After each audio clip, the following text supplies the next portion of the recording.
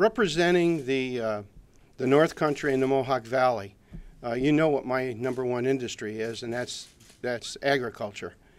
And I think all you have to do is look at these charts on each side of us, and you'll see what the problem is that our uh, farmers are facing every year, and how important this bill is because, again, all you have to do is look at the figures and see what's going on.